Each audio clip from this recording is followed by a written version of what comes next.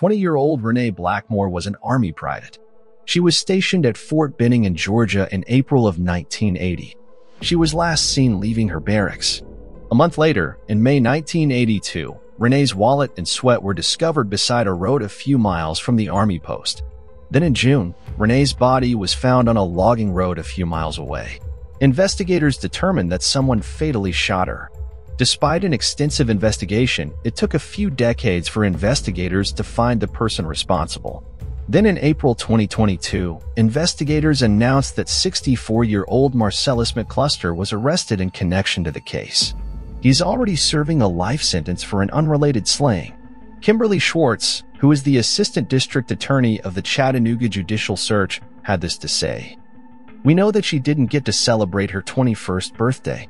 We don't know who she might have loved or the relationships she might have built, what dreams she might have realized. All of those things got extinguished by a blast from a cheap shotgun, about two miles from the middle of nowhere down in South Chattahoochee County 40 years ago. There is no expiration date on that kind of evil, Renee's mother, Donna Reitman, said in a statement that her daughter was a focused young woman who loved laughing and having fun with friends. I have lived these 40 years always feeling the pain her absence causes, Reitman said, and believing no one outside of her family and friends even cared. It is with a grateful heart that on March 28, 2022, this belief was shown to be untrue. Investigators haven't said what exactly led to the arrest, but said McCluster had always been a suspect. They just never had enough evidence. The investigation gained new life in 2020 when the Georgia Bureau of Investigation formed a cold case unit made up of retired agents. McCluster is currently awaiting trial.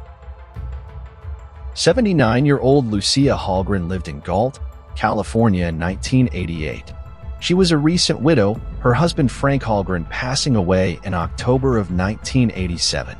Lucille and Frank lived in Galt for about 25 years after moving there from Ohio. They had two adult sons. On May 23, 1988, two of Lucille's friends became concerned. It had been a few days since they last saw her, and she didn't attend church the previous day. The two friends entered her residence through a partially sliding glass door. They then found her body and called the police. Lucille had visible injuries to her chest, and she appeared to have been assaulted. The autopsy confirmed that she had been stabbed and strangled. Investigators collected DNA evidence from the crime scene belonging to the person who took her life. It turned out that investigators would get all the evidence they needed to solve the case, but it would take more than 30 years for the available technology to make sure of it.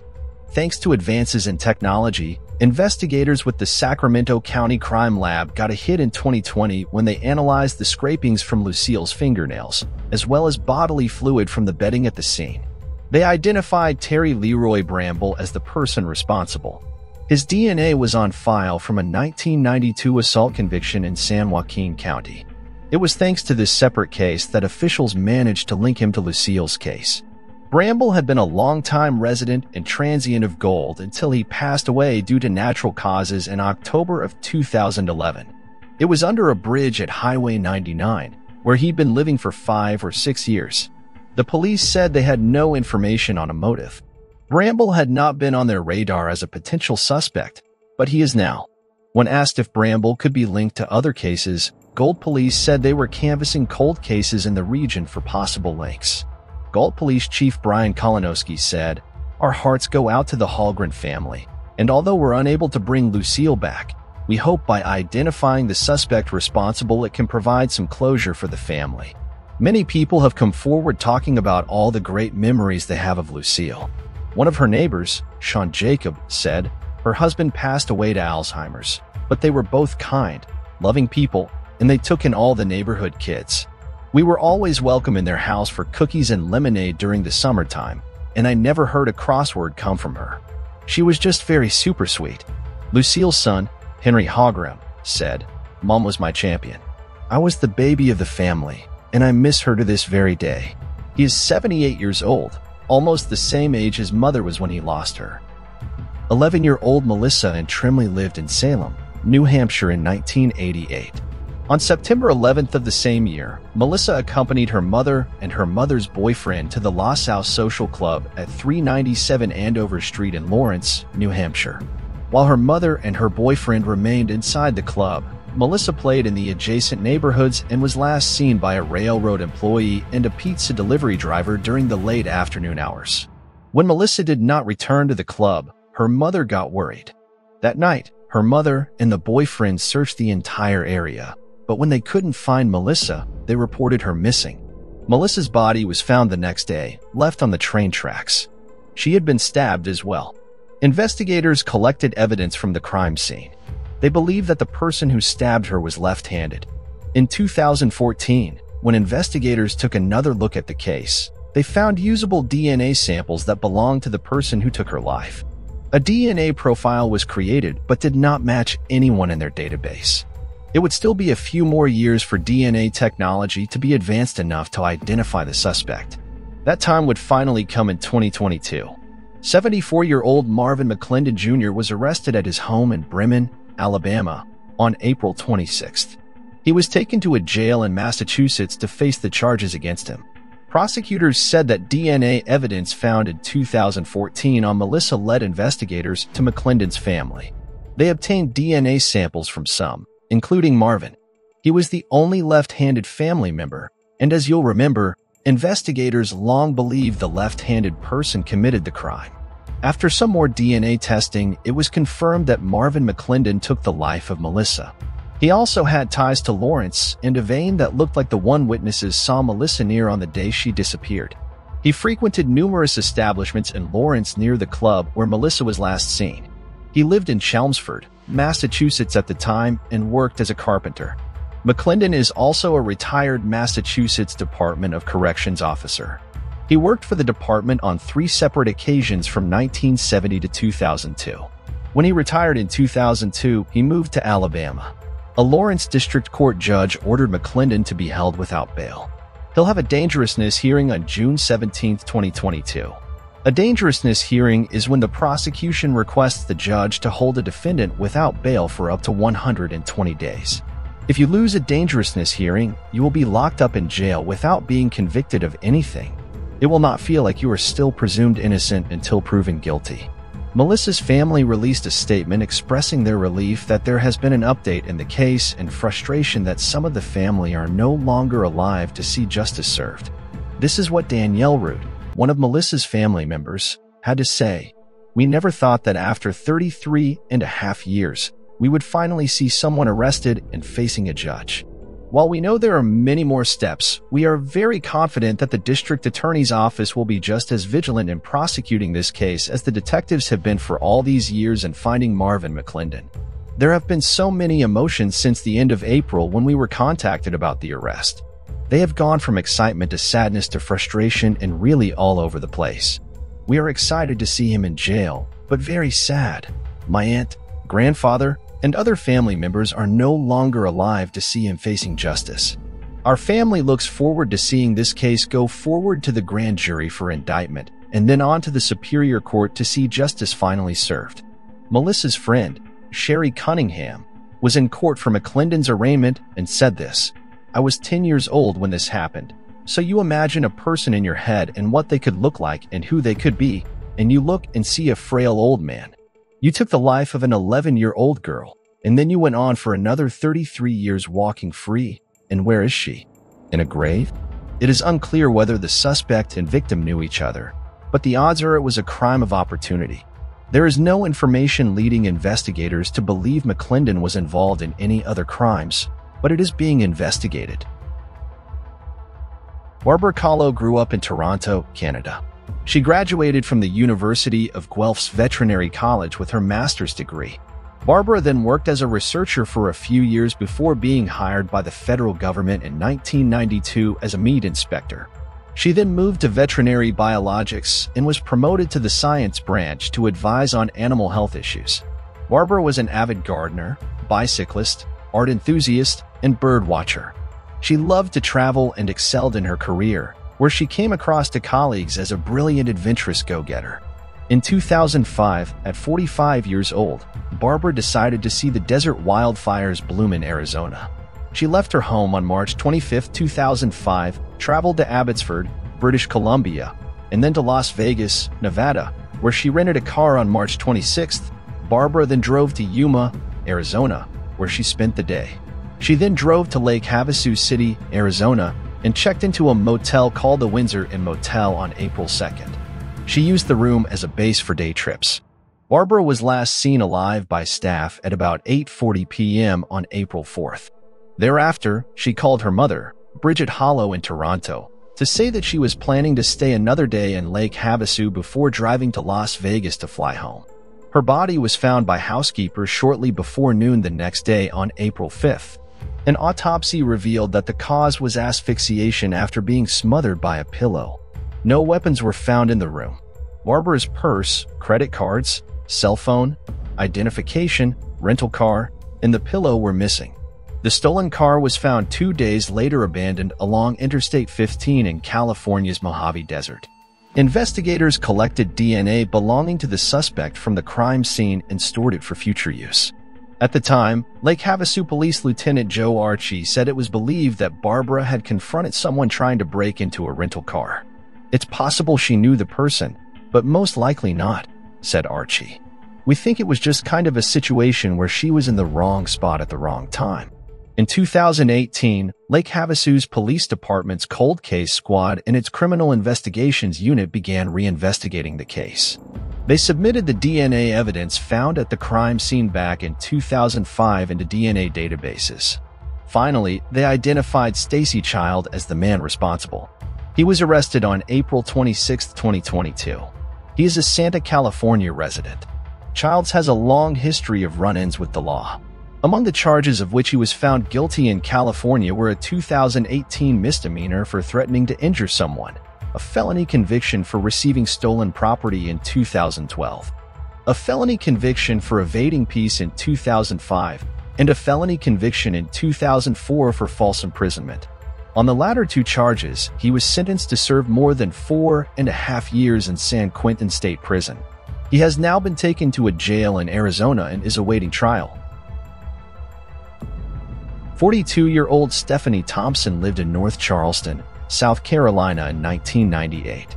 She had three children, Dylan, Holly, and Ricky Thompson.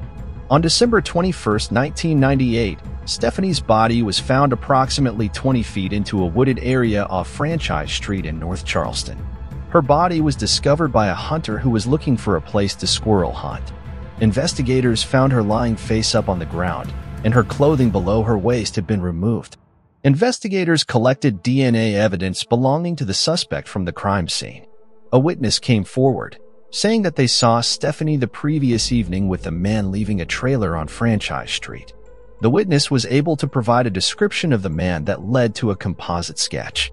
Investigators questioned a few suspects, but it didn't lead anywhere, and the case went cold for some time. Recently, the case was reopened. Investigators knew they had a good DNA sample, it was sent to a private genetic genealogy testing company. The results of that test narrowed the search field. Finally, they identified 43-year-old Charles Goodwin as the man responsible. The match was made on December 10, 2021. He was arrested in Greenville, South Carolina on March 28, 2022. His DNA was in their database because he had been arrested in an unrelated felony DUI case. Investigators did not say whether they believe Goodwin and Thompson knew each other, but the warrant also states that Goodwin provided false and misleading information about his involvement in the case during interviews. When investigators told Goodwin why he was being arrested, he just said, okay, as if he was expecting it. Goodwin was taken to Georgia County Sheriff's Office and is being held at the LC Knight Detention Center after a bond hearing during which a judge denied bond. 19-year-old Kara Nichols lived in Colorado Springs, Colorado in 2012. She was an aspiring model. On October 9, 2012, Kara left her home to go to Denver. She told her friends she was traveling for a photo shoot. When no one heard from Kara, her brother Terry Nichols reported her missing five days later on October 14th. In the years since she disappeared, investigators had leads that spanned the US and Europe and issued dozens of search warrants. Recently, a key witness for investigators told them that a man by the name of Joel Hollendorf confessed to taking the life of Kara. According to the witness, Hollendorf and Kara met because she was advertising escort services. For an unknown reason, he decided to strangle her. Recently, Hollendorf's property in Black Forest Colorado, was searched and Kara's remains were found buried there. In February of 2022, Hollendorfer was arrested in connection to the case. Investigators have not yet revealed more information than that. His hearing will be on September 15, 2022. 35-year-old Joy Hibbs lived in Croydon, Pennsylvania in 1991. She was married to Charlie Hibbs, and they had two children, Angie and David. On April 19, 1991, when 12-year-old David came home from school, he found the house ablaze. He ran for help, knowing that his mother was most likely inside. Firefighters found Joy's body in David's room.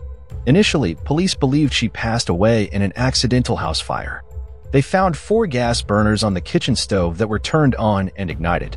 When the autopsy was done, investigators determined that she was deceased before the fire was set. They discovered what was later found to be a computer cord wrapped around Joy's upper torso. The autopsy determined she had been stabbed five times, strangled, and badly beaten. The autopsy also showed an important detail. Joy Hibbs had smoked marijuana the morning of the fire. Investigators quickly concluded the fire was set to destroy evidence of the crime, and authorities said it was largely successful as much of the forensic evidence police would hope to find was destroyed. The fire marshal found four areas where the fire started, and in at least one spot, accelerant was likely used. Without the forensic evidence, Bristol Township Police dug into Joy's life, creating a working timeline for when her life was taken and the arson. She left a paper trail showing her moves on the morning of the fire. She cashed her paycheck at a bank and went grocery shopping, which was her normal Friday routine. She then came home around 11 a.m., and a neighbor reported seeing her walking the family's new puppy named Major. Two people from the Bensalem Baptist Church, where Joy attended Easter services, dropped by to talk about joining the congregation sometime after 11 a.m. They left before noon. It was shortly after 1 p.m. when David returned home from school to find the house on fire.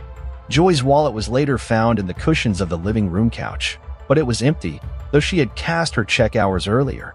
Her purse was found on the kitchen floor with its contents dumped out. This implied that robbery could be the motive, but it didn't quite make sense to investigators.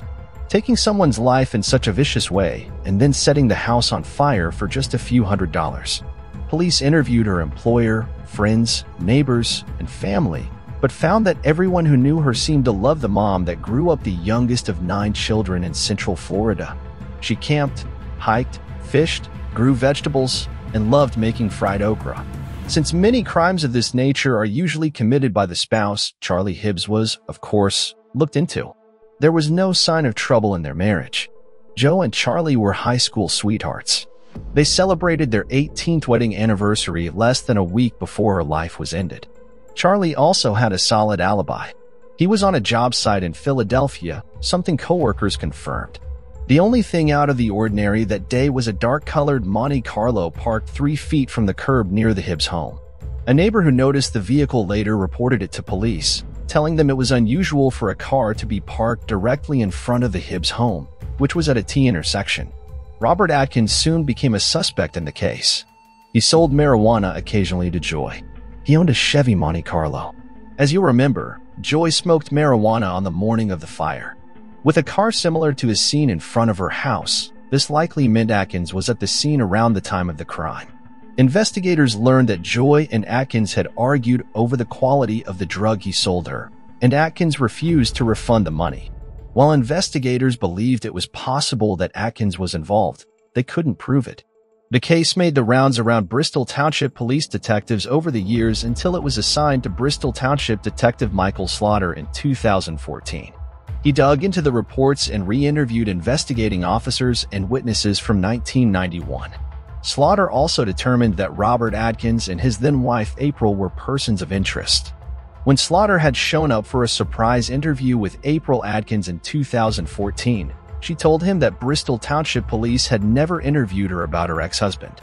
Despite his alibi that placed the couple together in the Poconos with their children the week of Joy's demise, April Atkins told Slaughter that she and her husband and children were in the Poconos that weekend, and when they returned, they heard about what happened to Joy. The Bristol Township detective interviewed Robert Atkins two days after he spoke with his ex-wife in 2014. During that interview, Robert Atkins admitted to being a confidential informant for the Bristol Township Police Department at the time of the crime, and that he had been a methamphetamine user and got the drug for other people, though he didn't consider himself a dealer. He also admitted to the dispute over poor quality marijuana with Joy but denied threatening her or her family. He just simply couldn't give Joy a refund, he told the detective. Atkins claimed he had left Bristol Township around noon the day of the fire for a week trip to the Poconos with his wife and children. He said he could provide an alibi too, telling Slaughter a lady, later described as a co-worker of his wife, could confirm his whereabouts in 1991. Atkins also said that Bristol Township police checked the hotel where he stayed in the Poconos, and that cleared him further. More than a year later, in a December 2015 interview with Slaughter, former Chief Tom Mills confirmed that in 1991, Atkins was a confidential informant for the police, purchasing methamphetamine and marijuana. Mills told Slaughter that he interviewed Atkins for the first time two days after the crime in 1991 when he was asked by Lieutenant to deliver a message to Atkins to contact police before his name came up in the investigation. Mills and Detective Al Ilag, who was Atkins's handler, went to Atkins's apartment, but he wouldn't let them inside. Mills said he noticed a dark-colored 70s vintage Monte Carlo in the apartment complex parking lot. In 2016, April Atkins showed up at the Bristol Township Police Station on a Sunday. She wanted to tell Slaughter, whose business cards she saved, what really happened the day Joy Hibbs lost her life. She said that day, her ex-husband showed up at the home covered in blood. He confessed he had stabbed someone and set the house on fire. He ordered her to call out of work and pack up their kids. The family fled to the Poconos for two days. April Atkins, who at the time shared a young child and baby with her husband, learned about Joy Hibbs only after the family returned. She told police, April Atkins said she didn't tell police what she knew when Slaughter first interviewed her in 2014 because she feared for her third and youngest child's safety because he lived with Robert Atkins at the time. Another five years would pass before Bucks County detectives would speak with Robert Atkinson's alleged alibi, a former co-worker of April Atkins who provided Robert Atkinson with what authorities now say was a fake alibi. The woman told investigators in 2021 that police interviewed her in June of 1991, three days after Robert Atkins shared her contact information with them. The woman told police she called the Atkinses' home between 1 p.m. and 1.30 p.m. on April 19, 1991, and Robert Atkins answered the phone. In May of 2022, 56-year-old Robert Atkins was charged in connection to the case. He was arraigned by Judge Frank Parent Sr. in Bristol and ordered to the Bucks County Correctional Center without bail. The Bucks County District Attorney's Office held a news conference DA Matt Weintraub saying it was a gratifying day when he could bring closure to the Hibbs family with an arrest. In a statement read on behalf of the family by Weintraub, Joy Hibbs was described as a sweet, charming Southern girl and a loving and devoted wife and mother. For 31 years, our family has been haunted by this tragic loss knowing, without a doubt, that Robert Atkinson was the perpetrator. The statement read, Our family has waited 31 years for justice to prevail authorities continue to investigate, and anyone with information should contact either Detective Hanks at 215-34-86056 or Sergeant Slaughter at 215-785-4040. On July 2, 1996, a man's body was found in a room at the Prince Murat Motel in Tallahassee, Florida. The man was 44-year-old James Bruner, and an autopsy determined that he had been asphyxiated. James was a laborer who worked odd jobs around town. Investigators collected DNA belonging to the suspect from the crime scene. In 1996, DNA technology was not advanced enough to identify the suspect, so the case went cold. In 2020, Tallahassee Police Department detectives reopened the case and used new forensic technology to analyze the DNA found at the original crime scene. Investigators developed leads with the help of the Florida Department of Law Enforcement and Parabon Nanolabs, a Virginia company that provides DNA phenotype services for police. Detectives eventually developed enough probable cause to arrest 71-year-old Alan Lefferts in connection to the case. His DNA matched the suspect's DNA found at the crime scene. Lefferts was picked up at his home in Jacksonville, Florida, with assistance from the Baker County Sheriff's Office. Tallahassee Police Department Deputy Chief Jason Larson said in a statement, Solving a case that occurred nearly 26 years ago speaks volumes to the dedication and great collaborative effort between our state and local law enforcement partners. Our detectives and forensic specialists work tirelessly every day to seek justice for victims and ensure those responsible for crimes are held accountable. We're hopeful this arrest will bring some level of closure to the victim's surviving loved ones. As Lefferts did not confess, we don't know why he took the life of James Bruner. 22-year-old Christopher Hervé lived in Santa Ana, California in 1996. His girlfriend, Jade Benning, also 22 years old, lived with him. At 3 a.m. on January 4, 1996, Jade called 911. She reported that a man had broken into their apartment and fatally stabbed Christopher. According to her, she suffered a minor injury to her right hand when she struggled with the intruder. A witness also told the police they saw a man running from the apartment building. Investigators discovered Christopher's body with multiple wounds to his chest. They couldn't find the weapon anywhere. Neighbors informed the police that they heard a loud argument taking place shortly before Christopher was stabbed lasting for around 15 minutes. Investigators continued to work the case, but their leads went cold until an anonymous letter arrived in January 2020 implicating Benning in the case. A co-case detective believed there to be enough evidence after following up on the case and obtained a criminal complaint from the Orange County District Attorney's Office, together with a warrant for Benning's arrest. 48-year-old Jade Manda Benning, who now lives in Austin, Texas, was arrested on May 3, 2022, near her home after an investigation that involved forensics. Agents from the U.S. Marshals Lone Star Fugitive Task Force arrested her. Detectives from the Santa Ana Police Department were also present to witness Benning being apprehended. She has been extradited to California to face the charges and is being held on a $1 million bail. We don't know exactly what led to the arrest, but we do know that evidence against her includes something the police found when they executed search warrants in Austin Texas, in June 2020. Benning is currently in Orange County Jail. Her arraignment is scheduled for June 8, 2022. Armand and Lorraine Pelletier lived in Frenchville, Maine in 1985. It is a small town near the Canadian border. On December 7, 1985, Armand heard their Siberian husky named Paka pound on their door. He went a look and could not believe what he saw. At first, he thought it was a rag doll in the dog's mouth, but then realized it was a frozen little baby. The child was Caucasian, female, and still had her umbilical cord attached. Armand immediately called the police. Detectives were able to track the dog's path to about 700 feet from their home, where the baby was born in a gravel pit. It was determined the baby passed away from the cold she was left in and not from being carried home by Paka. Investigators couldn't find any sign of the woman who delivered the baby, just blood and placental material. They collected DNA from the scene and stored it so they could use it later. No one in the town knew who the person could be, so the case went cold. In 2020, Detective Jay Pelletier was working at the Maine State Police Unsolved Homicide Unit and decided to take up the case. He was quoted as saying, having been from the area, I remember the media coverage initially. With the addition of DNA and genealogy information, we felt that this was a case that could be worked on at this time. Detectives worked alongside Identifiers International to identify 58-year-old Leanne Daigle as the mother of baby Jane Doe.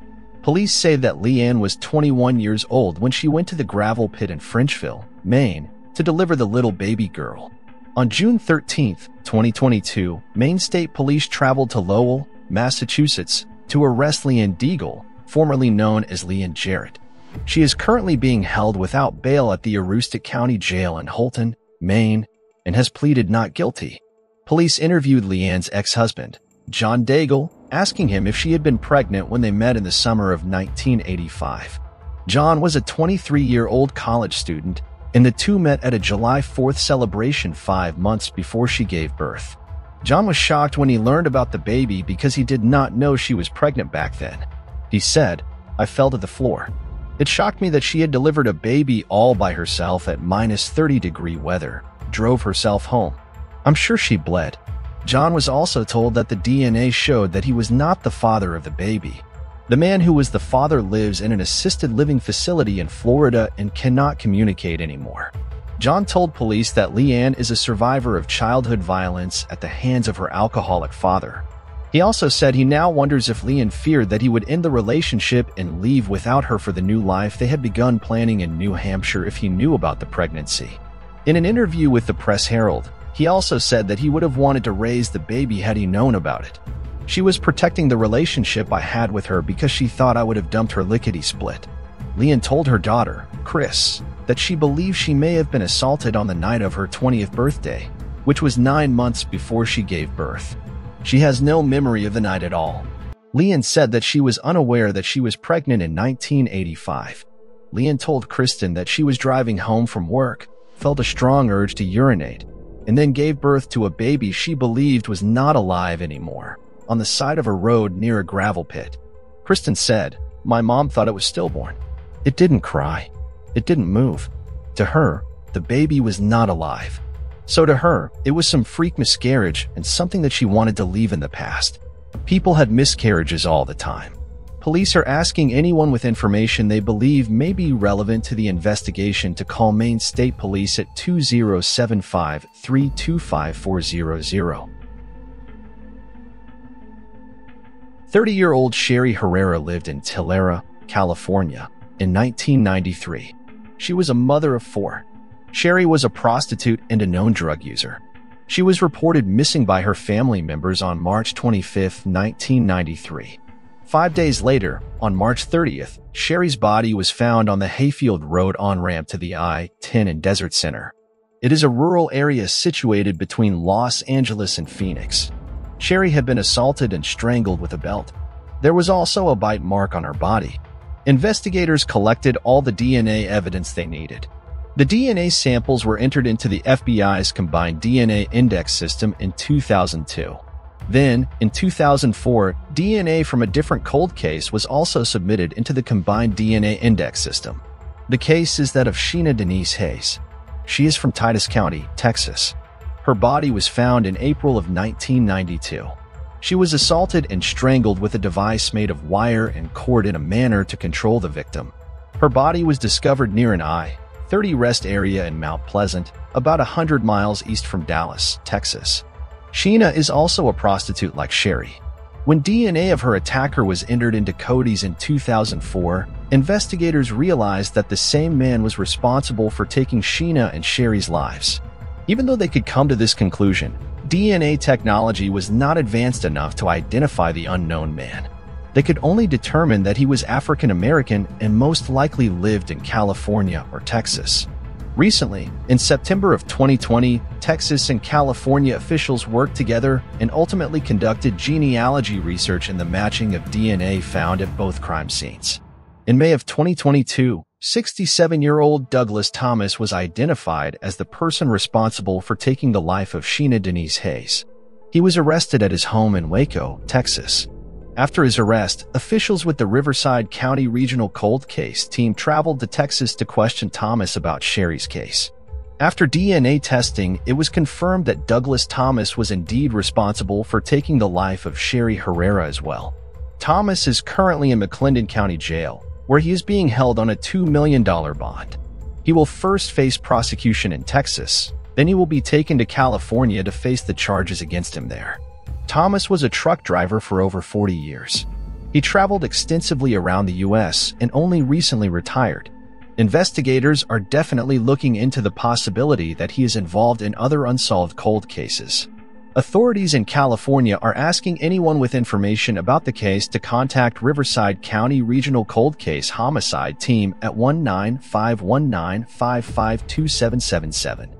Sherry's son Adrian was only six years old when his mother's life was taken had this to say following the arrest. I don't know if I really believed it because it's like, man, this has been so long.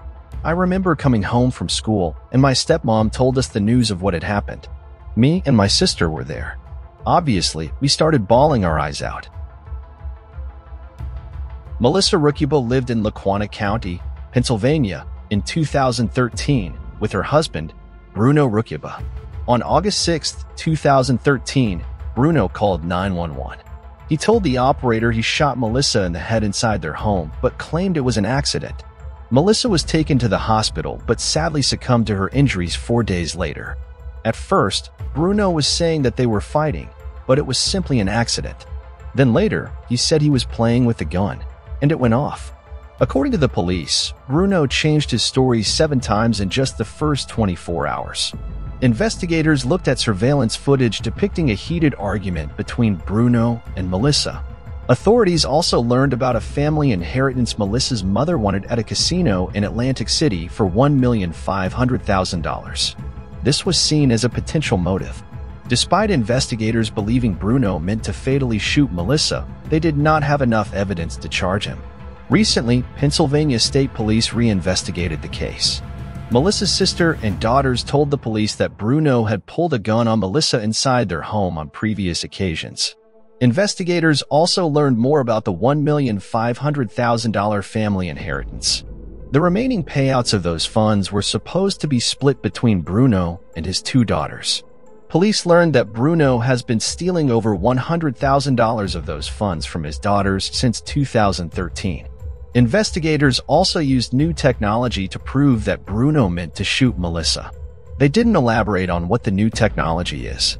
56-year-old Bruno Rukuba was arrested on June 3, 2022. He was charged with taking the life of Melissa and theft. Trooper Robert Urban had this to say, when it comes to investigations that are open, we always investigate them and try to uncover new leads. Well, in this case, we interviewed more people. We used different technology, different audio devices to make other interviews clearer.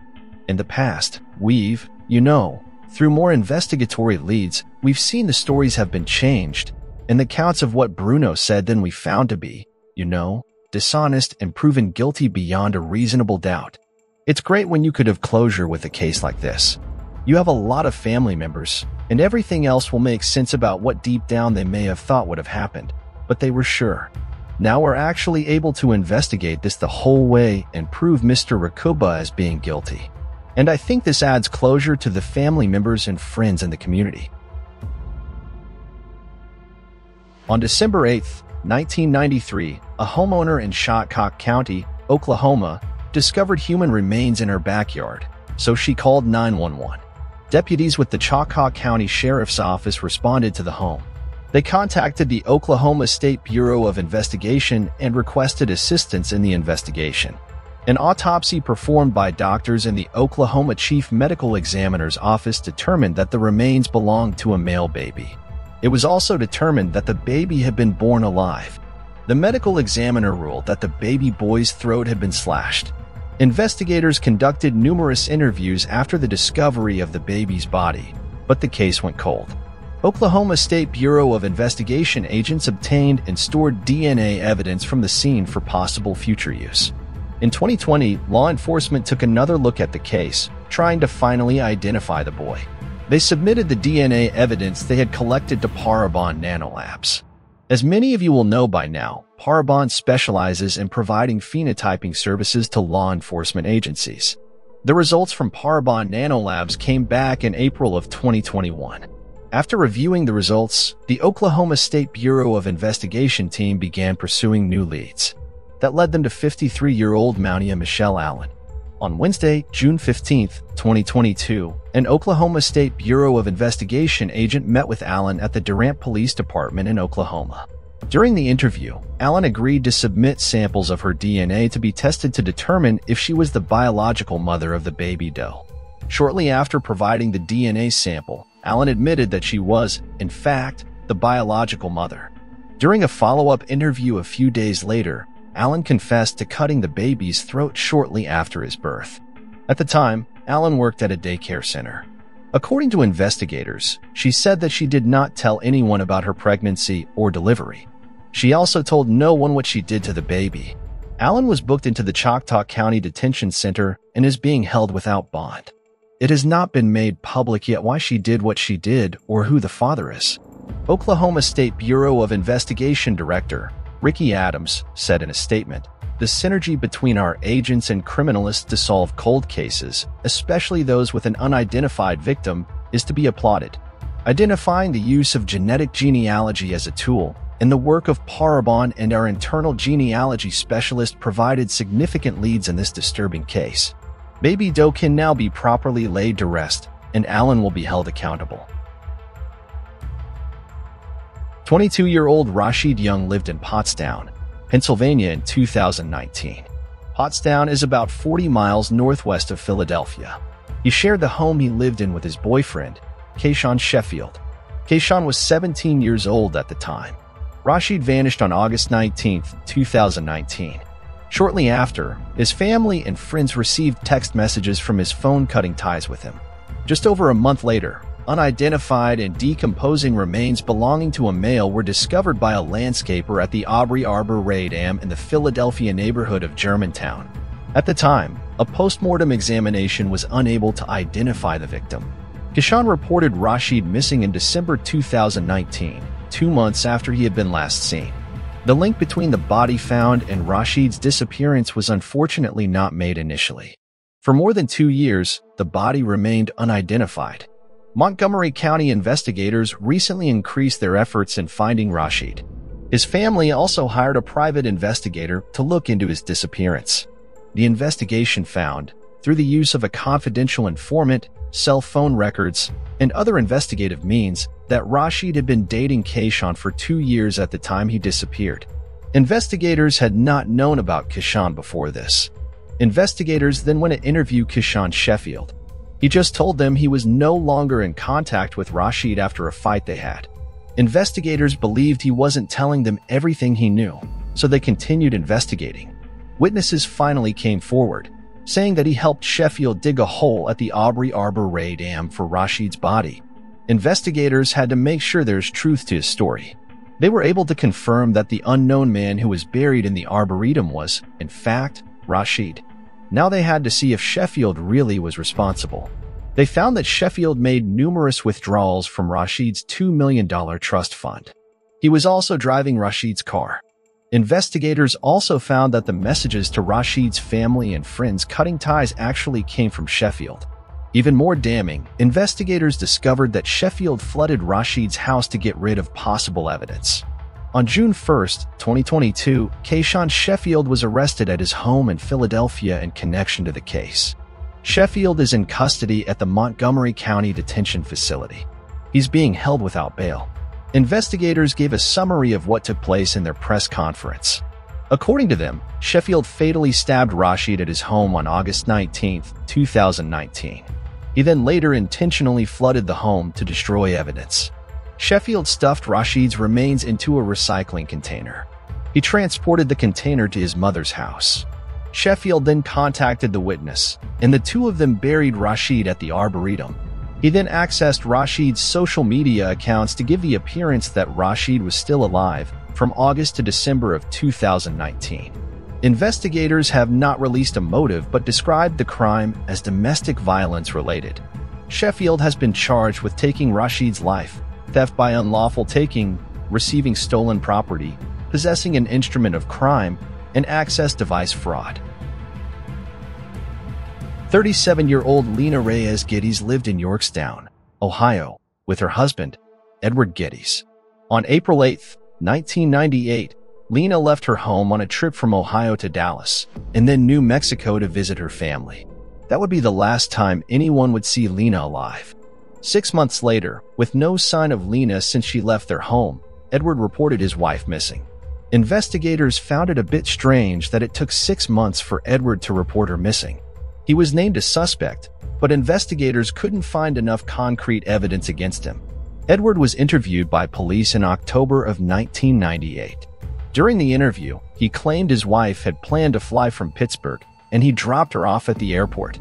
On April 20th, 1998, an unidentified deceased female was located along State Route 276 near Maiden Water Spring in Utah's Garfield County.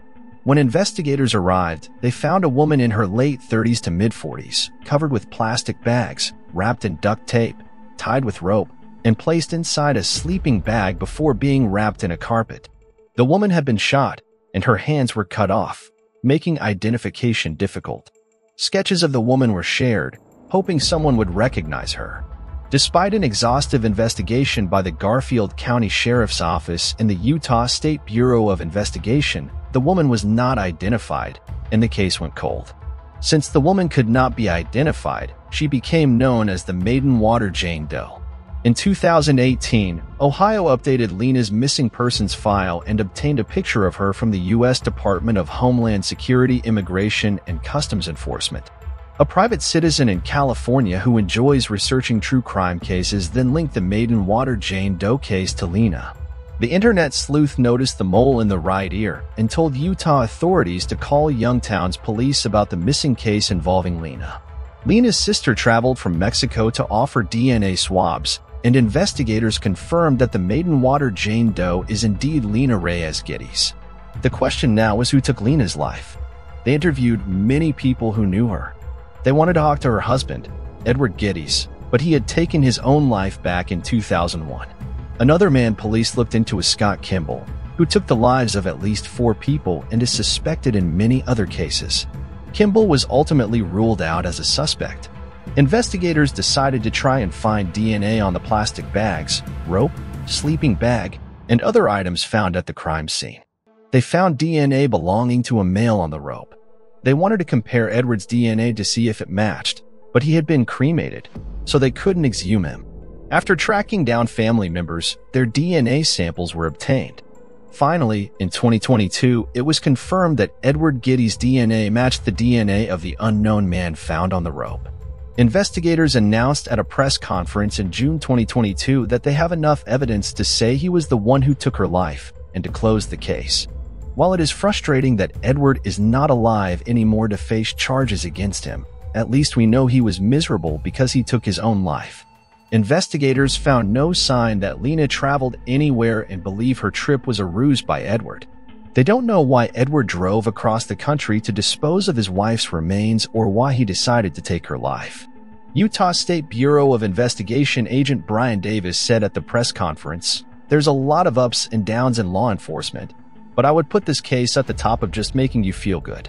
At least there's some closure, at least there's answers. Davis also mentioned it's not just the DNA that they have evidence against Edward, but also other circumstantial evidence. Lena's sister Lucero, who had given her DNA to help identify Lena, said, I felt like for 20 years, no one would listen to me, but now I know what happened. I'm here to bring her home. Not like I expected, but I'm bringing her back home with me. 54 year old Nora Sheehan lived in Cork, Ireland. She was a mother of three. Nora was last seen when she attended a medical appointment for a dog bite at the South Infirmary Hospital on June 6, 1981. When Nora did not return home after the appointment, her family reported her missing. The National Police Service of the Republic of Ireland, or the Gardaí as they are more commonly referred to, started searching for Nora. Six days later, Nora's body was found by forestry workers at the viewing point in the Chapel Woods, about 18 miles from where she was last seen. It was not revealed how her life was taken, but the investigators simply noted that it was violent. Despite the Gardaí investigating the case, they could not identify the person who took her life. In 2016, the Gardaí Serious Crime Review Team reopened the cold case and spent several years examining all details associated with it. In June of 2022, detectives arrested 73-year-old Noel Long at his home in Malboncourt in connection to Nora's case. He was then taken to Bandon Garda Station, where a short hearing was held, and it seems that Long will enter a guilty plea. His attorney, Eddie Burke, said that his client was a 73-year-old man in receipt of a state pension. Burke also requested that Long receive all necessary medical treatment while on remand because he has severe medical issues. Detectives have not made it public what exactly led them to Noel Long because it is still an ongoing investigation. Sabir Chatterjee lived in Houston, Texas in 2002.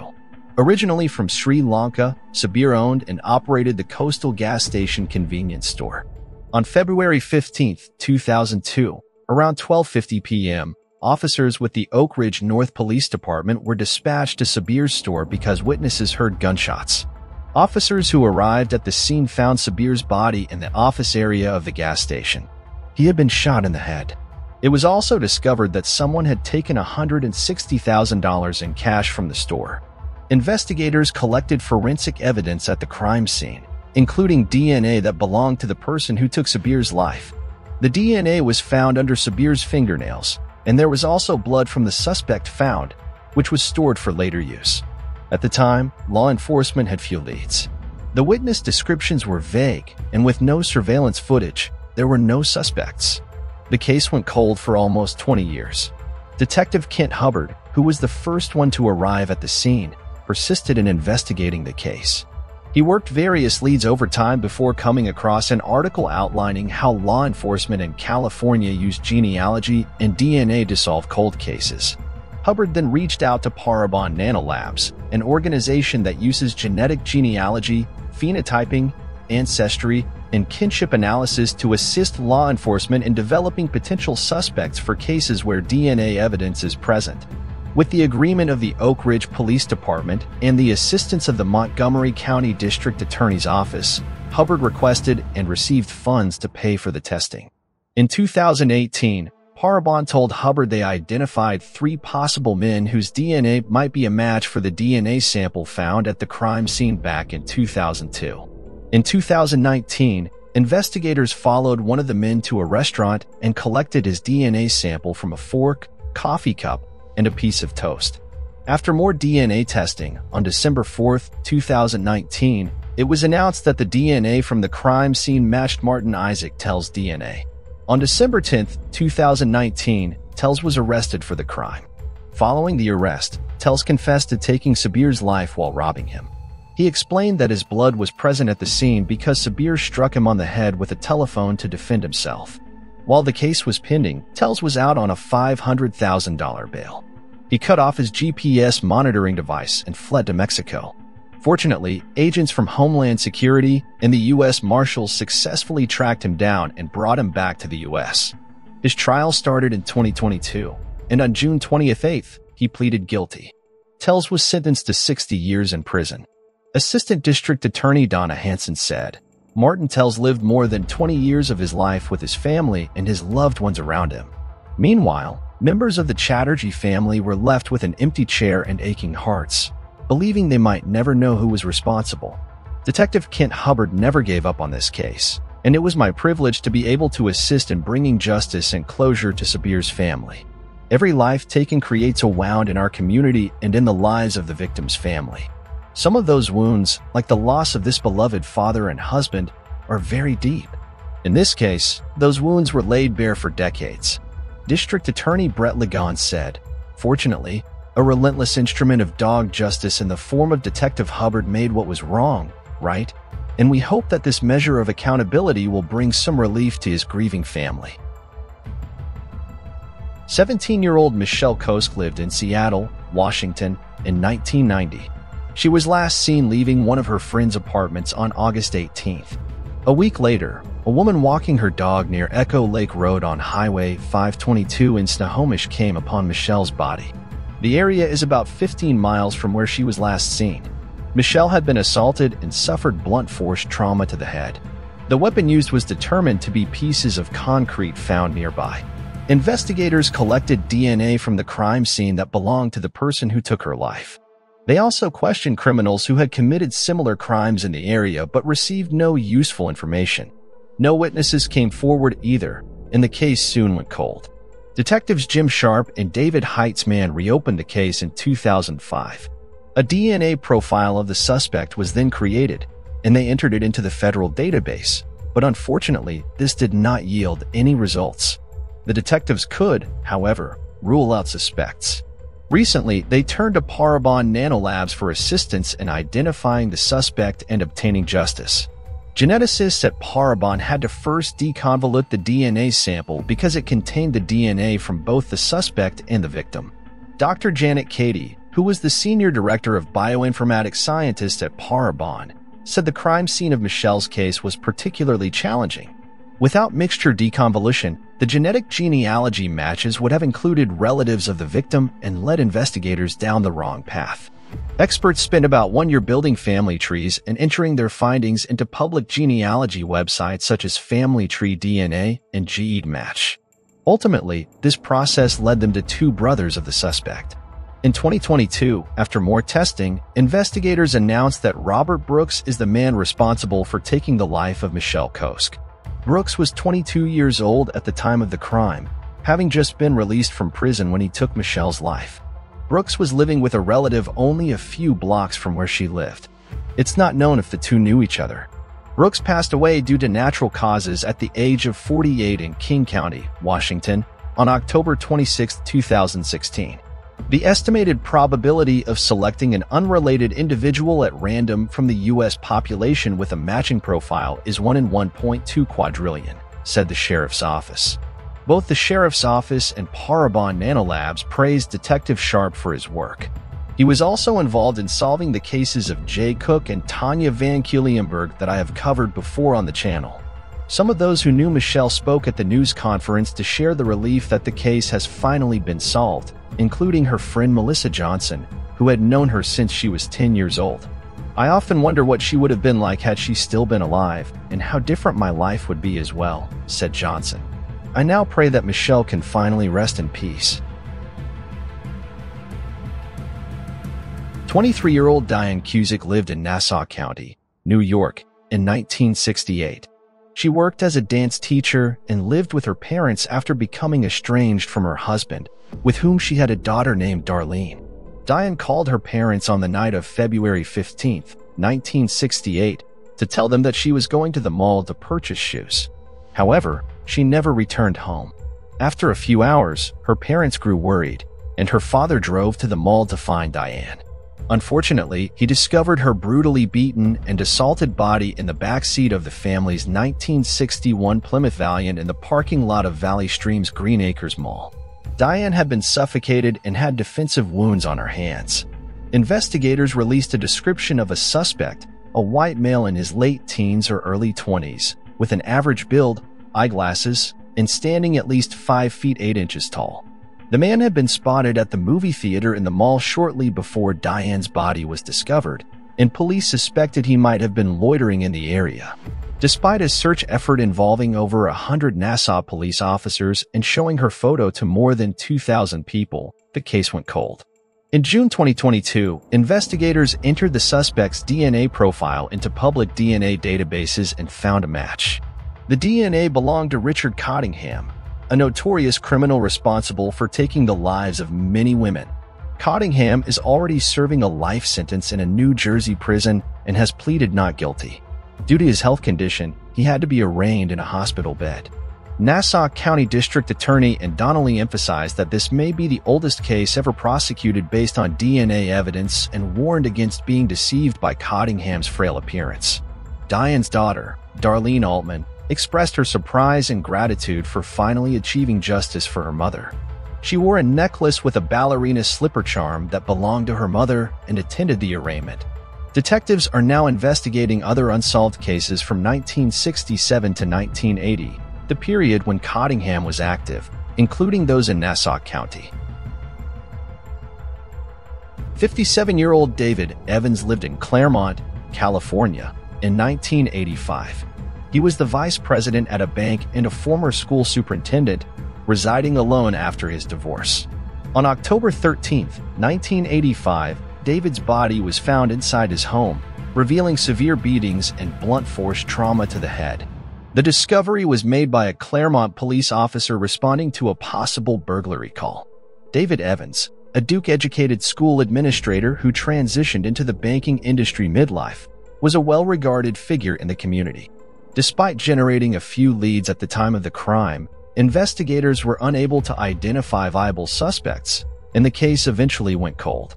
In 2006, authorities revisited the case following advances in forensic technology.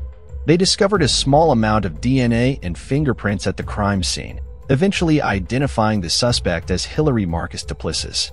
Further investigation revealed that Duplessis lived in the San Gabriel Valley area at the time of the crime, not far from David's residence. Additionally, he was linked to the theft and abandonment of David's vehicle in Covina, California, about two hours after the crime. On May 2, 2022, Duplessis was charged with ending the life of David Evans.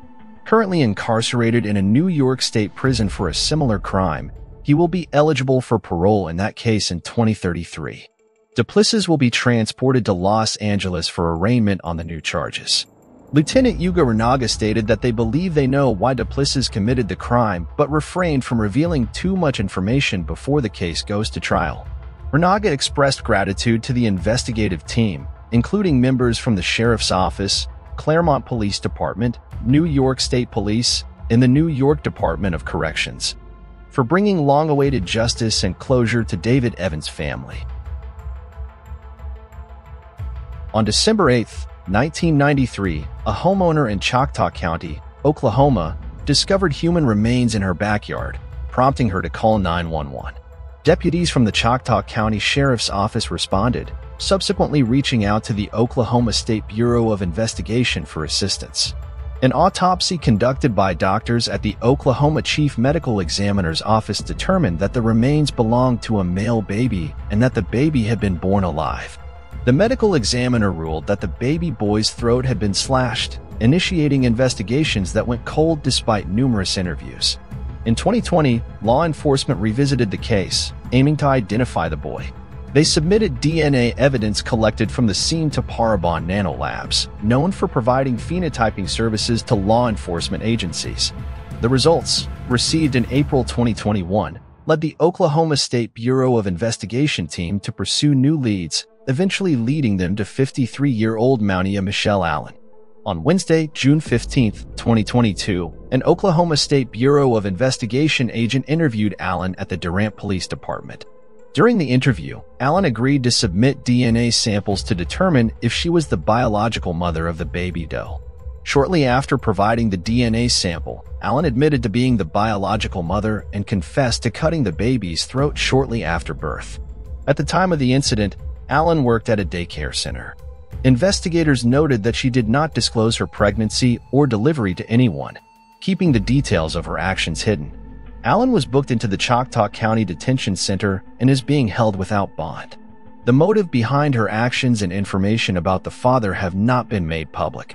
Oklahoma State Bureau of Investigation Director Ricky Adams applauded the synergy between agents and criminalists in solving cold cases, especially those with unidentified victims. The use of genetic genealogy, facilitated by Parabon and internal genealogy specialists, provided significant leads in this disturbing case. The director expressed relief that Baby Doe can now be properly laid to rest, and Allen will be held accountable.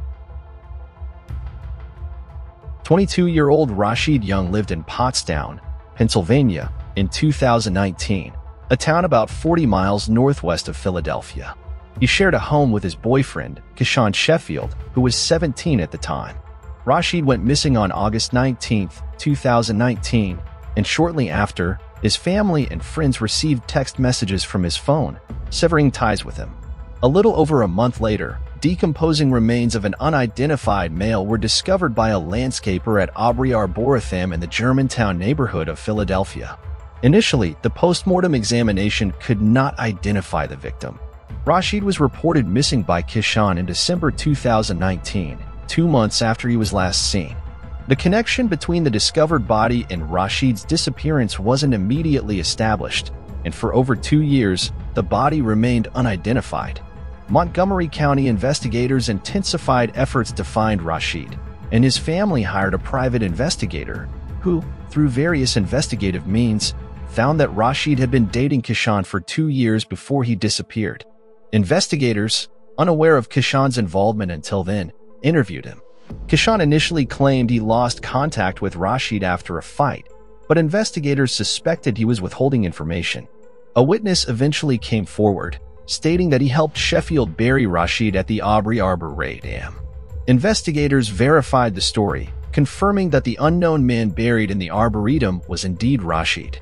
They discovered that Kishan Sheffield made numerous withdrawals from Rashid's $2 million trust fund and was driving Rashid's car. Additionally, the messages to Rashid's family and friends, cutting ties, were traced back to Sheffield.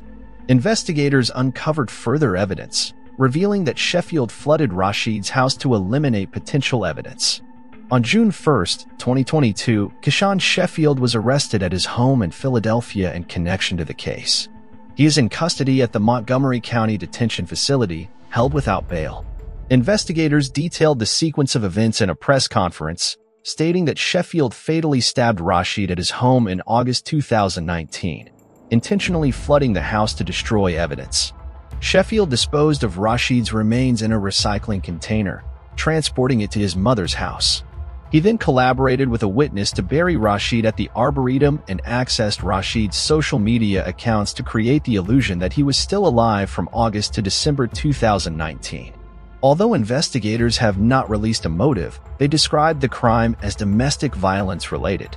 Sheffield faces charges, including taking Rashid's life, theft by unlawful taking, receiving stolen property, possessing an instrument of crime, and access device fraud. 25 year old Lori Houts lived in Mountain View, California, in 1992, working as a computer engineer. On September 5th of the same year, Lori's body was discovered in her car near a garbage dump about a mile away from her workplace. She had been strangled with a rope that was still around her neck, and police found footprints on the inside of her windshield. A prime suspect, John Kevin Woodward, emerged quickly. Woodward was allegedly openly jealous of Lori having developed a romantic attachment to Lori's boyfriend, who was also his roommate. Woodward faced two trials in the late 1990s, but both were unsuccessful. The judge dismissed the case for insufficient evidence after the jury could not reach a verdict in the second trial. While Woodward's fingerprints were found on the outside of Lori's car, investigators couldn't establish his presence inside the car. Woodward later moved to the Netherlands and became the president and CEO of ReadyTech, an online training company in the Bay Area. Despite the trial setbacks, investigators persisted in Lori's case, following up on leads and searching for evidence. In late 2020, forensic evidence from the case was resubmitted for further analysis. Over 80 latent fingerprints collected at the crime scene were re-examined by the Santa Clara County Sheriff's Office Identification Unit. This resulted in more fingerprints matching Woodward, found in places only the perpetrator could have touched. John Woodward was apprehended by police at JFK Airport in New York on July 9, 2022, after arriving from Amsterdam. If convicted, he faces life in prison. Deputy District Attorney Rob Baker of Santa Clara County's DA office expressed his satisfaction with having a second chance for justice after nearly 30 years. He acknowledged the rarity of discovering new evidence decades after a case is dismissed and credited advances in forensic science for reopening the case. Lori's family issued a statement expressing hope for justice and gratitude to law enforcement agencies that never gave up on her memory. In Lori's honor, the family established the Lori Houts Memorial Girls Athletic Scholarship, supporting graduating female seniors with donations. 12-year-old Laisha Michelle Jackson lived in Montgomery County, Texas, in 1979. On September 7th of that year, she left her home to spend the day at a community pool in her neighborhood. When she didn't return home, her family became worried and called 911. The following day, Laisha's glasses were found at a local intersection, but there was no other sign of her. Six days later, on September 13, 1979, an oilfield worker discovered her body in a heavily wooded area near a pipeline in Montgomery County. An autopsy report revealed that she had been assaulted before her life was taken, and investigators collected DNA from her body, preserving it for future use. Detectives conducted an extensive investigation into the case that lasted for years, exploring all leads. However, the case eventually went cold. In 2021, investigators decided to revisit the case and employed a new technology called MVAC, which enhances DNA collection. MVAC allows investigators to collect DNA from porous and rough surfaces, expanding the potential for evidentiary items. The Montgomery County Sheriff's Office Cold Case Squad used this technology in October 2021 to successfully extract unknown DNA from Laisha's clothing collected at the crime scene. The unknown DNA was sent to Texas DPS Forensic Science, which developed the DNA profile of the perpetrator. In 2022, investigators submitted the profile to the FBI's Combined DNA Index System, CODIS, and found a match with a man named Gerald Dwight Casey. Casey had been executed in 2002 for taking another person's life in Montgomery County in 1989. In 1989, Casey, then 34 years old, and an accomplice, 36 year old Carla Smith, attempted to steal guns from a man named Daryl Pennington. Instead, they encountered Pennington's roommate, Sonia Lynn Howell. Casey beat her with the home telephone and shot her nine times before dumping her body in a wooded area. He was convicted in 1991. Prior to Howell's murder, Casey had a history of convictions, including burglary and multiple drug charges. The Montgomery County Sheriff's Office noted that this marks the oldest cold case solved by their department to date.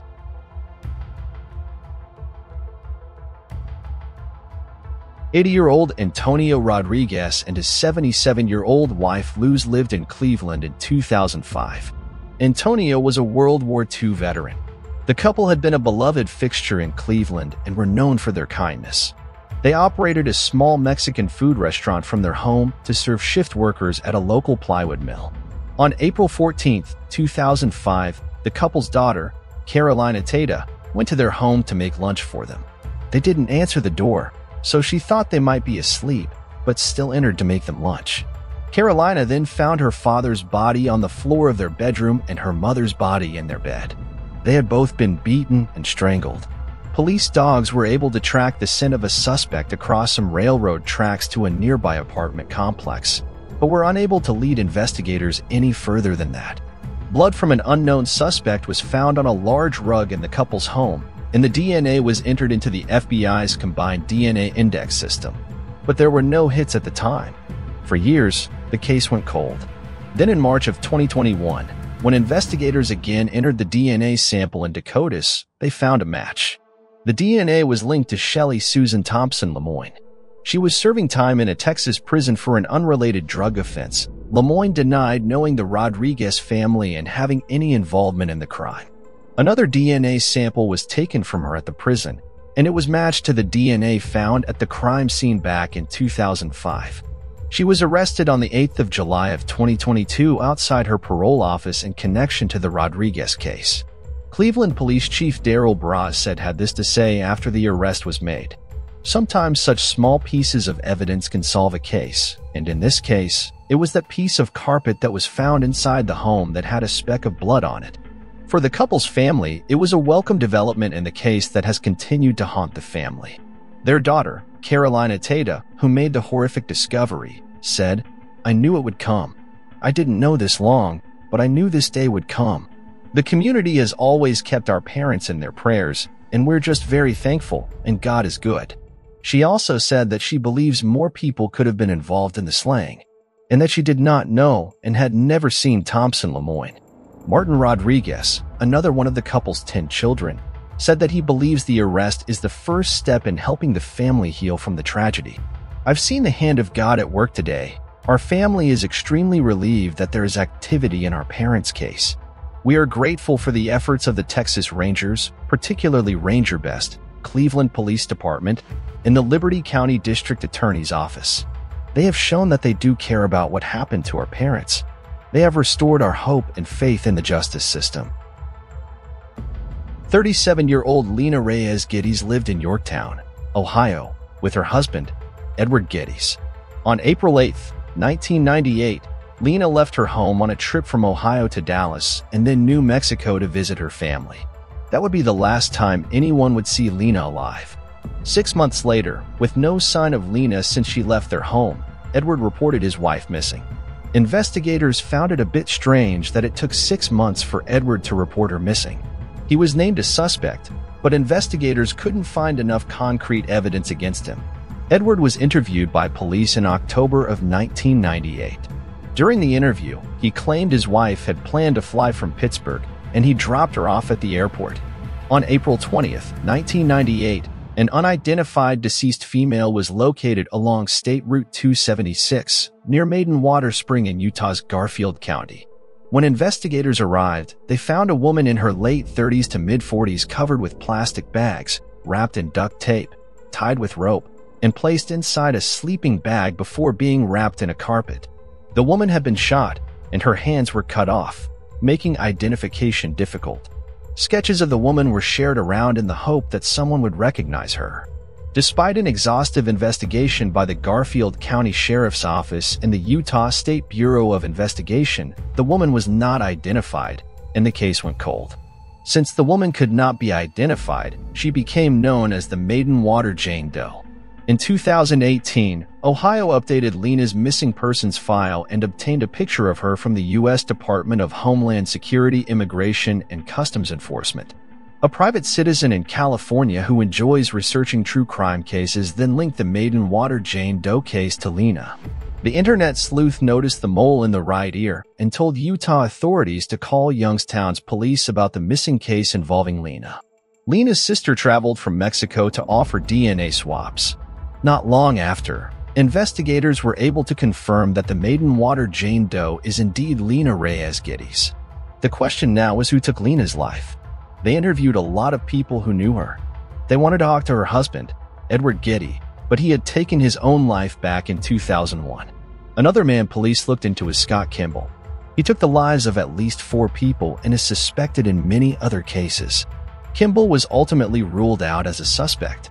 Investigators decided to try and find DNA on the plastic bags, rope, sleeping bag, and other items found at the crime scene. They were able to find DNA belonging to a male on the rope.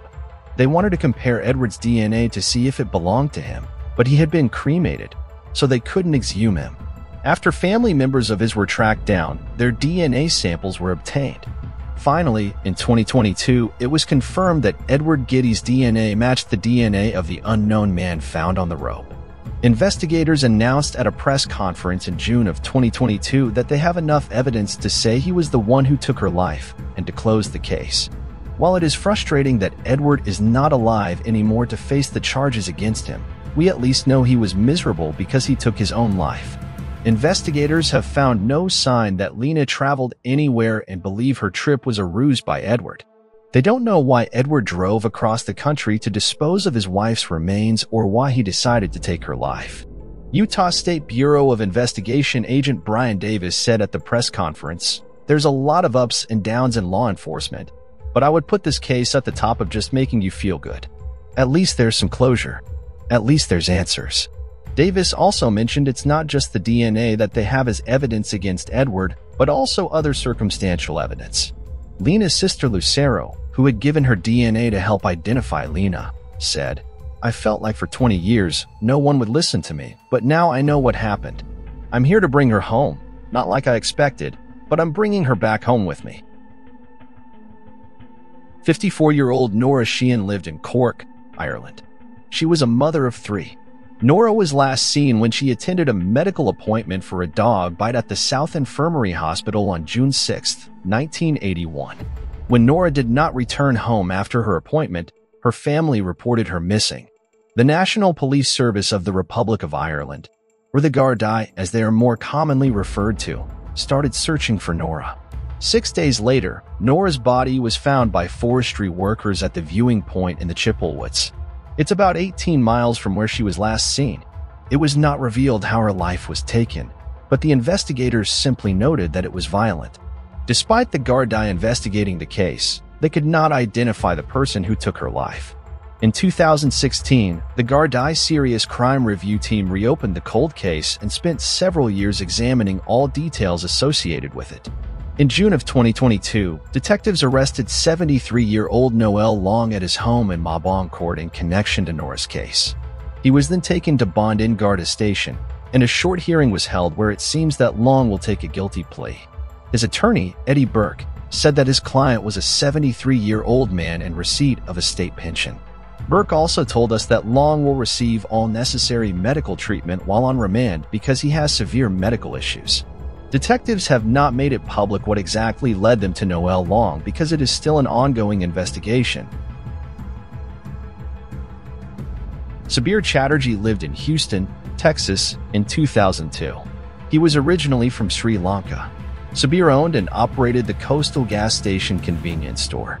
On February 15, 2002, around 12:50 p.m., officers with the Oak Ridge North Police Department were dispatched to Sabir's store because witnesses heard gunshots.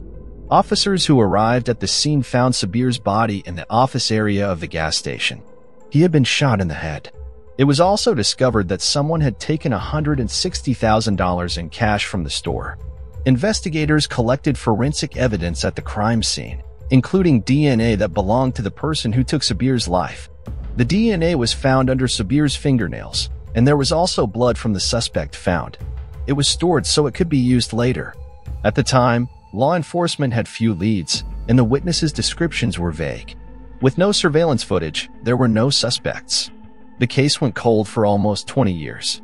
Detective Kent Hubbard, who was the first one to arrive at the scene, persisted in investigating the case. He worked various leads all the time before coming across an outline of how law enforcement in California used genealogy and DNA to solve cold cases. Hubbard then reached out to Parabon Nanolabs, an organization that uses genetic genealogy, phenotyping, ancestry, and kinship analysis to assist law enforcement in developing potential suspects for cases where DNA evidence is present. With the agreement of the Oak Ridge Police Department and the assistance of the Montgomery County District's Attorney's Office, Hubbard requested and received funds to pay for the testing. In 2018, Parabon told Hubbard they identified three possible men whose DNA might match the DNA sample found at the crime scene back in 2002. In 2019, investigators followed one of the men to a restaurant. There, they collected his DNA sample from a fork, coffee cup, and a piece of toast. After more DNA testing, on December 4, 2019, it was announced that the DNA from the crime scene matched Martin Isaac Tello's DNA. On December 10, 2019, Tello was arrested for the crime. Following the arrest, Tello confessed to taking Sabir's life while robbing him. He explained that his blood was present at the scene because Sabir struck him in the head with a telephone to defend himself. While the case was pending, Tello was out on a $500,000 bail. He cut off his GPS monitoring device and fled to Mexico. Fortunately, agents from Homeland Security and the U.S. Marshals successfully tracked him down and brought him back to the U.S. His trial started in 2022. On June 28th, he pleaded guilty. Tello was sentenced to 60 years in prison. Assistant District Attorney Donna Hanson said, Martin Tello lived more than 20 years of his life with his family and his loved ones around him. Meanwhile, members of the Chatterjee family were left with an empty chair and aching hearts, believing they might never know who was responsible. Detective Kent Hubbard never gave up on this case, and it was my privilege to be able to assist in bringing justice and closure to Sabir's family. Every life taken creates a wound in our community and in the lives of the victim's family. Some of those wounds, like the loss of this beloved father and husband, are very deep. In this case, those wounds were laid bare for decades.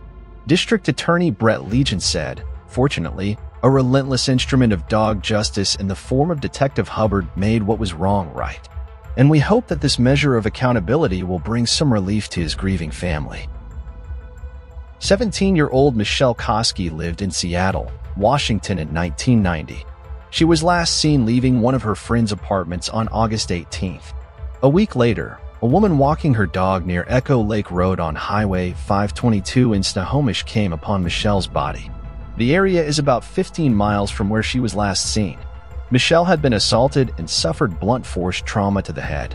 The weapon used was determined to be pieces of concrete found nearby. Investigators collected DNA from the crime scene that belonged to the person who took her life. They also questioned criminals who had committed similar crimes in the area but received no useful information. No witnesses came forward either, and the case soon went cold. Detectives Jim Scharf and David Heitzman reopened the case in 2005. A DNA profile of the suspect was then created, and they entered it into the federal database, but unfortunately, this did not yield any results. The detectives could, however, rule out suspects. Recently, they turned to Parabon Nanolabs for assistance in identifying the suspect and obtaining justice.